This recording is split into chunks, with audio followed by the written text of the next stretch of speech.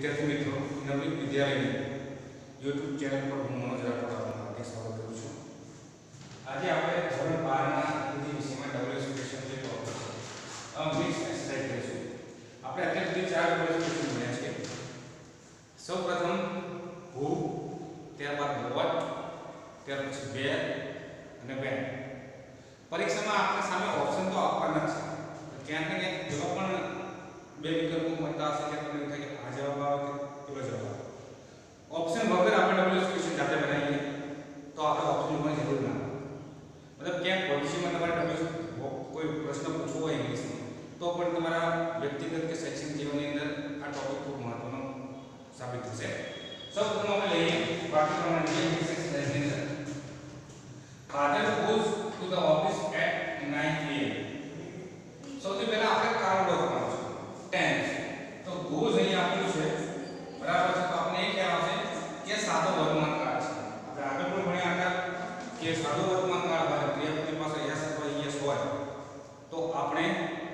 Does નો ઉપયોગ કરશું. અહીંયા કદાચ father જગ્યાએ બીજો કોઈ પ્લુરલ વર્ડ હતો અથવા કોઈ નામ આઈ હોય તો અહીંયા ગો આવે. પ્રશ્ન બને ડુ થી. તો એ ગો છે એટલે સૌથી પહેલા સાઈડ પર ડઝ આવશે. બરાબર?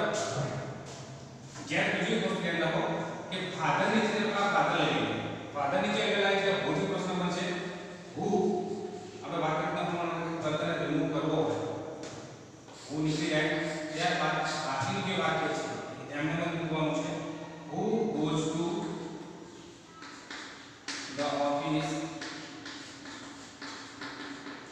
act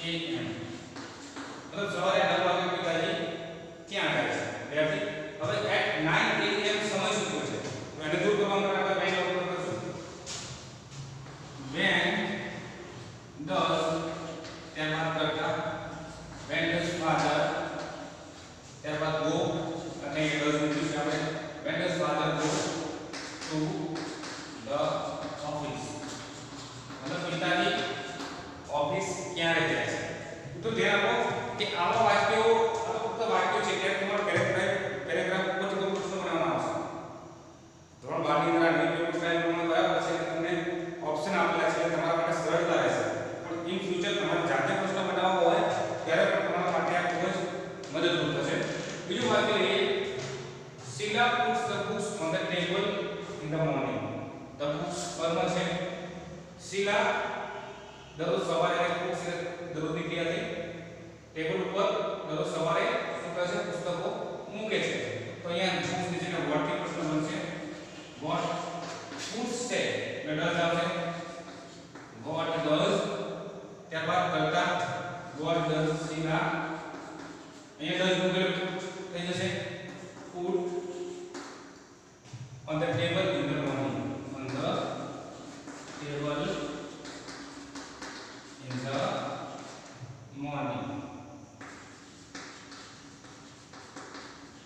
પાછળ પ્રશ્ન ઠીક છે what does Sheila put on the put on the table in the morning મતલબ શીલા સવારે ટેબલ ઉપર શું મૂકે છે હવે અહીંયા લાઈન આપી છે on the table એટલે આ શું હોય જગ્યા છે તો where થી પ્રશ્ન પૂછ્યો કે where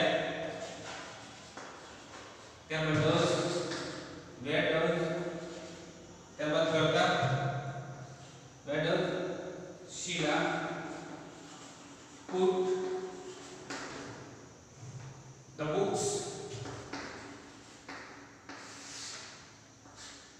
glucose in the morning.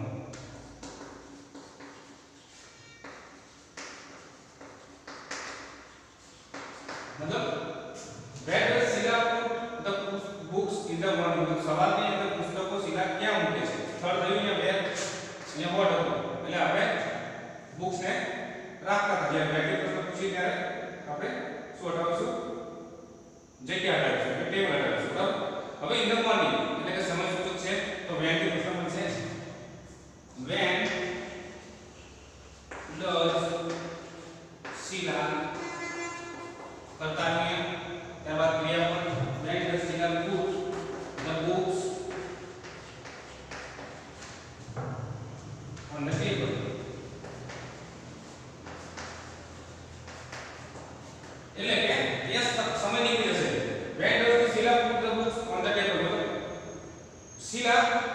પુસ્તકો જે છે એ ક્યારે ટેબલ ઉપર મૂકે છે. એટલે એના માટે નીકળી જશે. ત્યારે તમે કોઈ પણ અંડરલાઈન જે આપ્યું હોય તો શબ્દ ત્યાંમાં નીકળી જાય. બરાબર?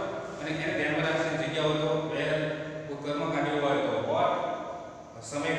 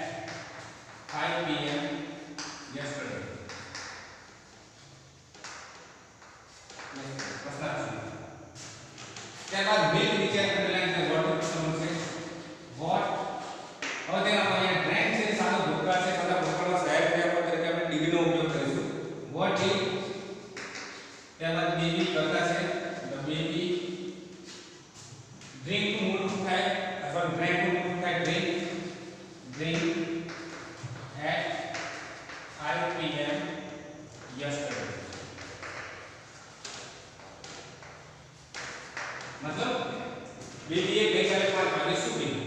તો કે દૂધ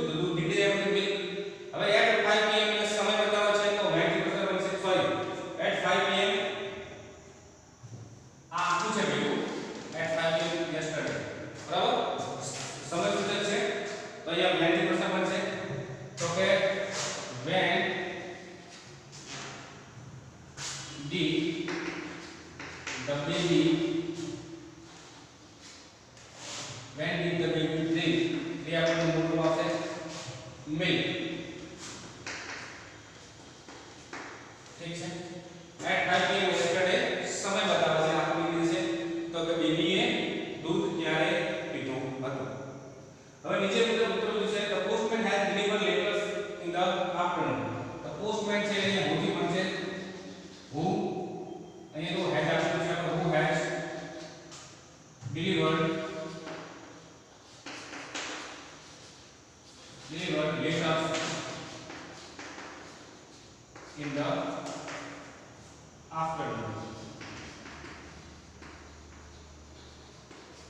છે હવે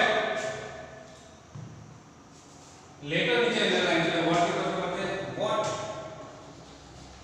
સાહેબ કે આપણે આ નીચે ભાઈ વોટ હેઝ તેનો કરતા છે postman what has the postman deliver in the afternoon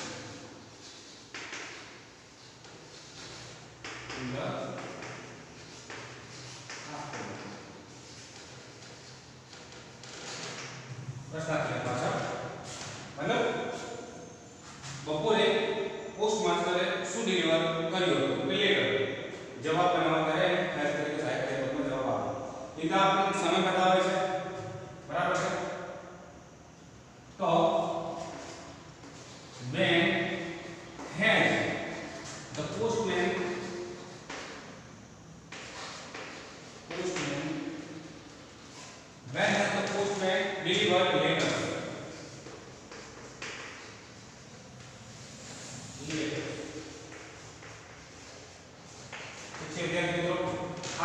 exercise તમે હોમવર્ક